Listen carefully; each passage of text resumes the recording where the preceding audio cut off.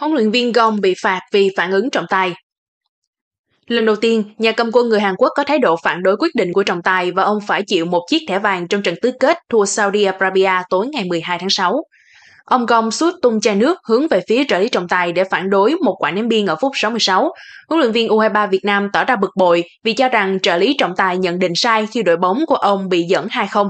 Tình huống này xuất phát từ pha phá bóng của trung vệ Lương Duy Cương và tranh chấp 50-50 rất nhanh, khiến trợ lý trọng tài phải đưa ra quyết định dứt khoát và phần bất lợi lại thuộc về U23 Việt Nam. Hành động của ông Gom diễn ra ngay trong tầm mắt của trọng tài Yusuke Arari. Trọng tài FIFA người Nhật Bản ngay lập tức chạy về khu kỹ thuật của U23 Việt Nam để rút chiếc thẻ vàng cho huấn luyện viên 48 tuổi. Sau khi bị phạt, ông Gom tiếp tục phân bua về một số tình huống trước đó nhưng có vẻ không khiến vua áo đen để tâm. Huấn luyện viên U23 Việt Nam không phục và tiếp tục tỏ ra bất bình khi được trợ lý can ngăn. Đó là lần đầu tiên hình ảnh nóng nảy của ông Gong xuất hiện trên truyền hình. Huấn luyện viên sinh năm 1974 được biết đến là người hòa đồng, cởi mở và ít khi phản ứng trọng tài từ đầu giải U23 châu Á đến giờ. Đây là chiếc thẻ vàng đầu tiên của ông Gong ở giải đấu đầu tiên với U23 Việt Nam. Phản ứng của tân huấn luyện viên U23 Việt Nam không thể so với tính cách của ông Park Hang-seo.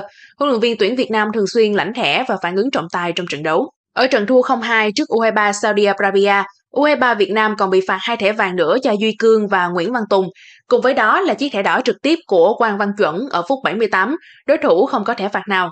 Sau loạt trận tứ kết, các đội sẽ được xóa thẻ vàng khi vào vòng bán kết. Với việc Việt Nam bị loại, thẻ đỏ Văn Chuẩn sẽ được tính cho cấp độ khác theo quy định của Liên đoàn bóng đá châu Á. Văn Chuẩn vẫn đủ tuổi dự giải U23 châu Á 2024 khi anh còn đủ 23 tuổi.